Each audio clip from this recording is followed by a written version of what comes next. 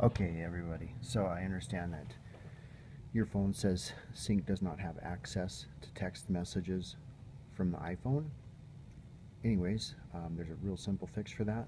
All you need to do is uh, go into your Bluetooth settings on your phone after you've connected to Sync and then click on the device that you just connected to, whether whatever car you're um, connected to through your Bluetooth uh, whether it says Sync or Ford Focus or um, Ford Escape, you name it. You just go in there and click on that and then go into the little settings on the right.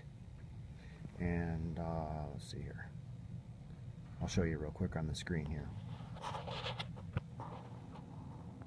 So if you're in the Bluetooth settings, what you need to do is click on show notifications right there. Okay?